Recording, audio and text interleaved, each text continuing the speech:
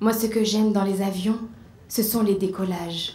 La seule vue d'un tarmac me balance en voyage. J'adore voir cet immense paquebot désert s'élancer sur la piste et fendre l'atmosphère. J'aime aussi l'anonymat des aéroports, sentir entre mes doigts la texture de mon passeport. J'apprends de bien sûr le passage en sécurité, ça fait un petit peu peur, mais paraît que c'est pour nous protéger. C'est pas très écolo, ma scène de ma conscience. Alors mes vols se font rares et je gère mon impatience. Pourtant, il y a peu, j'ai vu fleurir ma chance quand mon ami Cri-Cri m'a dit en confidence Eh Milouche, écris donc un slam, tu gagneras peut-être le sésame. Bah oui, un billet d'avion à la clé. Une chance plus que rêvée, un peu inespérée pour moi qui rôde sans cesse autour de texte qui suit les traces dans le ciel du bout de mon index. Je suis prête à tout pour en l'air m'envoyer. Et s'il faut pour cela écrire, j'écrirai.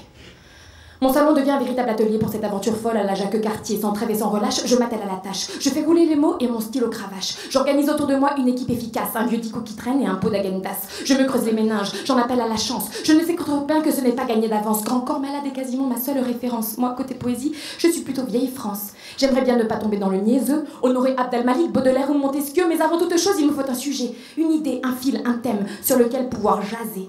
Vive la parole libre s'intitule le concours. Intéressant, intéressant, mais pas vraiment glamour. Moi, il n'y a qu'une chose dont j'ai envie de parler, mais c'est par trop personnel et sans grand intérêt. Il me faudrait aborder un sujet de société, haranguer les foules et les mobiliser, trouver un thème qui ait du sens, quelque chose de politique, mais sans extravagance, nous le savons tous. Le poids des mots est tel qu'il peut faire fleurir des bouquets ou des mines mortelles.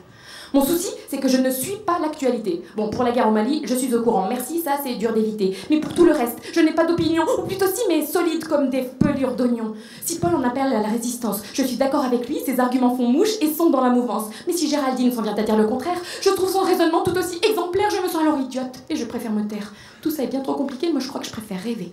C'est un peu trop facile, me dit la société, c'est d'être citoyen que de se tenir informé. Regarde autour de toi et observe ta chance. Nombreux sont être morts pour enrayer l'ignorance. Ça me fout la pression, je ne sais toujours pas de quoi je vais parler.